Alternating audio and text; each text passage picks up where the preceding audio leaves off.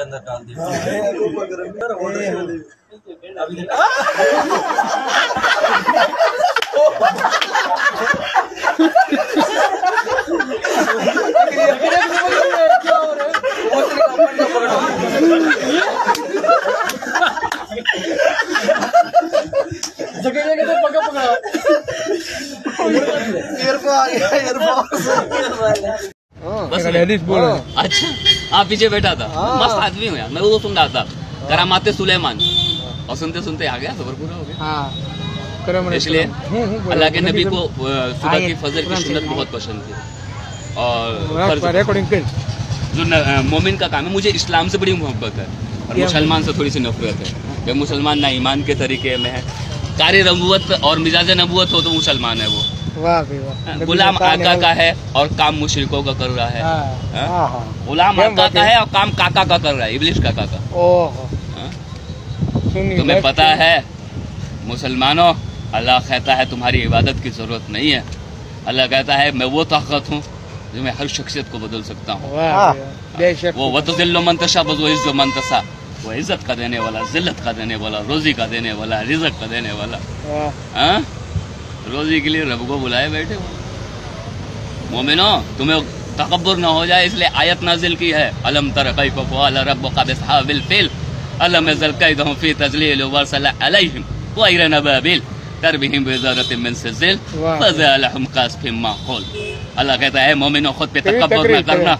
नबी सब थे अबाबिल जैसे चिड़ियों से हाथियों के लश्कर को तबाह कर दिया। अल्लाह ने। क्या वजूद है तुम्हारा?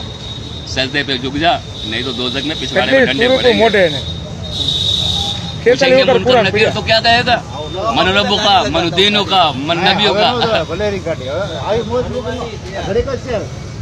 કેટલી હદી તું મોટે છે? બોલો બાપુ હા કહીએ દે બાપુ सैयद है अरे वाह वाह वाह वाह वाह आले रसूल હા ભાઈ વાહ नमाजे छोड़ क्या बैठा है ए, कहेगा सैयद तू नमाजें पूरी पढ़े तो सैयद पाँचों टाइम की तो फिर सैयद पक्का सैयद फिर हाँ। तेरे चेहरे देखने से लोगों को सुकून मिलेगा भाई। हमारा बापू है बापू। है?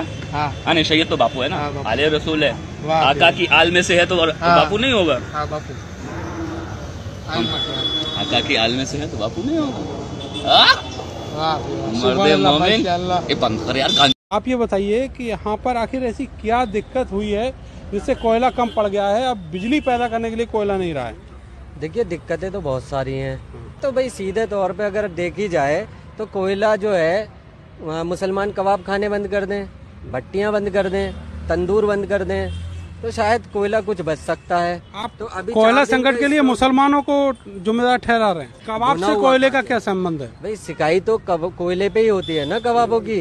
अब यूँ तो संबंध पंखे का भी है क्योंकि पंखा नहीं चलेगा तो कोयला कैसे चलेगा? तो बिजली की खपत के लिए भी हो सकता है कहीं ना कहीं मुसलमान जिम्मेदार हो कि भाई कोयला भी जला रहे हो तुम और पंखा भी चला रहे हो तब जाके कबाब बनता है। तब जाके कबाब बनता है और खाने वाले खाने के बाद में हाथ साफ़ करके चले जाते हैं। कोई ये नहीं देखता कि कोयला खर्च हो रहा है या हवा खर्च हो रही है। लेकिन कुल मिला के ये है कि विपक्ष को इसकी तरफ़ तवज्जो देनी चाहिए। कुछ ऐसा इसका भी ब्रह्मास्त्र निकाल